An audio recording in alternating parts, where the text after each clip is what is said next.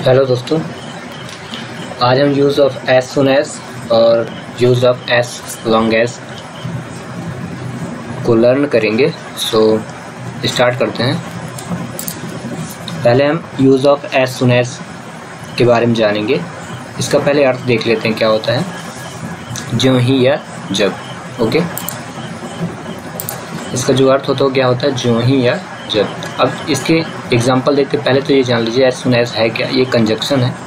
और कंजक्शन क्या होता है? जो दो क्लॉजों को यानी टू दो क्लॉजों को ऐड करने में यूज़ किए जाते हैं। छोटे छोटे उपवाक जो होते हैं उनको जोड़ने में यूज़ हम करते हैं। सो so, चलिए देखते हैं कि एक एग्ज़ाम्पल इनके।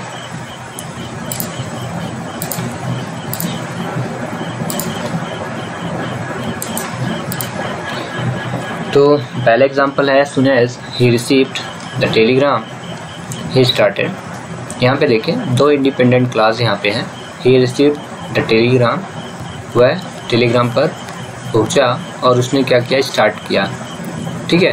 यहाँ पे ही स्टार्टेड है कंजक्शन के लिए जो है लिखा है, ये जो है कंजक्शन का सिंबल दिया। है ठीक है?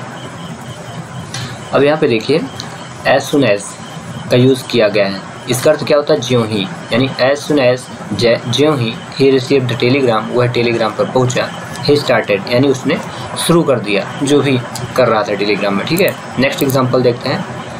As soon as he finish his homework his work जैसे उसने अपना कार्य ख़त्म किया ही वेंट आउट वह बाहर चला गया okay so as soon as का सेंस आपको समझ में आ गया? ये सेंस रहा। और इसके एग्जांपल देख हैं ना independent clause he finished his work independent clause क्या होते हैं? जिनका अर्थ, एक करेक्ट अर्थ होता है। अगर एस सुन को भी हटा दिया जाए तो इनका एक करेक्ट सेंस निकलेगा। उन्हें क्या कहते हैं? इंडिपेंडेंट क्लास कहते हैं। जैसे ही फिनिश्ड हिज वर्क उसने अपना कार्य किया, ठीक है? एस सुन एस न लगाएँगे, तब भी इसका अर्थ आता है। ही वेंट आउट वह बाहर गया, है?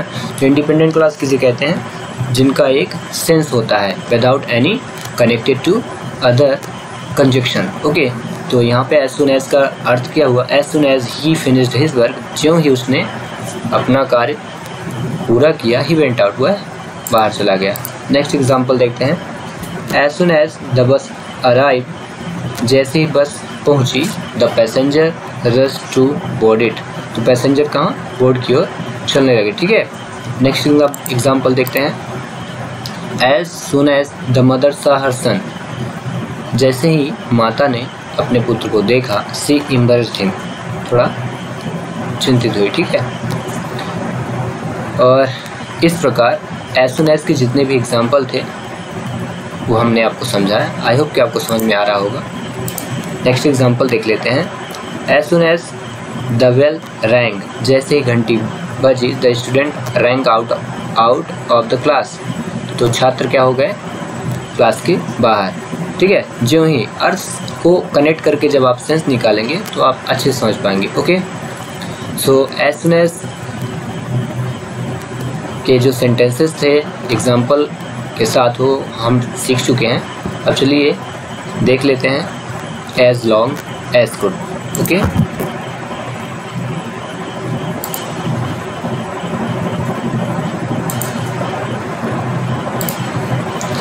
use of as long as.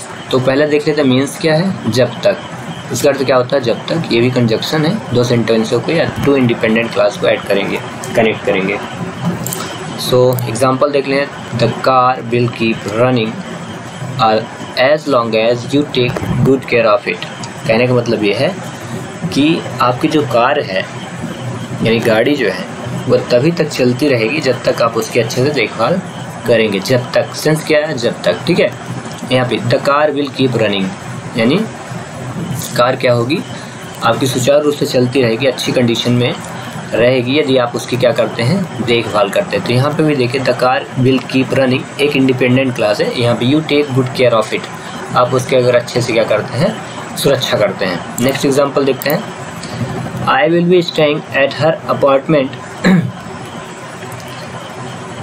as long as she takes to come back हम उनके अपार्टमेंट में तब तक इंतज़ार करते रहेंगे जब तक कि वे क्या वापस नहीं आ जाते, ठीक है? तो जब तक का सेंस समझ में आ रहा ना टू इंडिपेंडेंट क्लास को कनेक्ट करने के लिए किया जा रहा okay next example I will like him as long as हम उनको पसंद करते हैं या करेंगे जब तक ही कीप्स यू हैप्पी जब तक वो आपको क्या करते हैं? खुश रखते हैं। यदि जब तक वो आपको खुश रखते रहेंगे, आप उनको क्या पसंद करते रहेंगे। ठीक है नेक्स्ट एग्जांपल देखते हैं। I will teach him English हम उनको इंग्लिश पढ़ाएँगे एज लॉन्ग एज जब तक ही विल रीड जब तक वो पढ़ेंगे। Okay next example I will play cricket as well as I will not out हम तब तक, या मैं तब तक क्रिकेट खेलूँगा जब तक मैं आउट नहीं हो जाऊँगा। ठीक है? सो so, इस प्रकार से हम एज लॉन्ग एज और एज सुन एज को लर्न कर चुके हैं। अब इनसे रिलेटेड एक एग्जांपल देखते हैं। उसके बाद कुछ आपको हम क्वेश्चन देखें देंगे जिनको आप करेंगे। सो so, एक एग्जांपल देखते हैं। देखिएगा। जिनसे अगर आंसर बन जाता है तो कमेंट्स बॉक्स के अंदर दस सेकंड के ही अंदर आपको आंसर सेंड करना है। उसके बाद आपको कुछ क्वेश्चन दिए जाएँगे होमवर्क के रूप में। उनको आप क्लास फिनिश होने के बाद आप उसका कमेंट्स बॉक्स पे आंसर ज़रूर सेंड करें। सो शुरू करते हैं।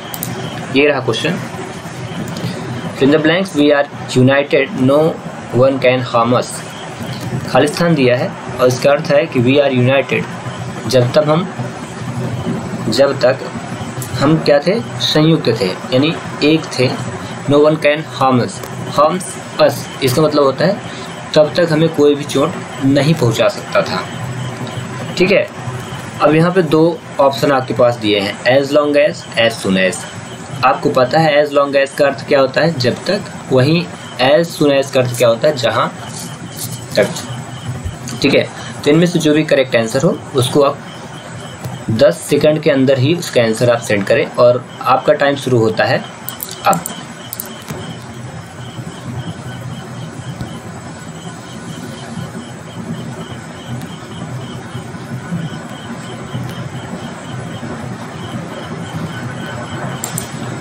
टाइम अप और ये रहा आपका करेक्ट आंसर तो इसका आंसर जो होगा करेक्ट आंसर क्या होगा? एज लॉन्ग एज जब तक हम एक थे तो हमें कोई भी नुकसान नहीं पहुँचा सकता था। ठीक है? तो इसका करेक्ट आंसर क्या होगा एज लॉन्ग एज सो चलिए क्लास के अंत में हम आपको कुछ इंपॉर्टेंट क्वेश्चन देते हैं।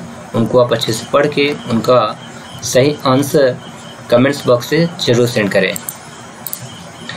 सम क्वेश्चन फॉर यू कुछ महत्वपूर्ण प्रश्न हैं। आपके लिए पहला question when the blanks she received the telegram she started.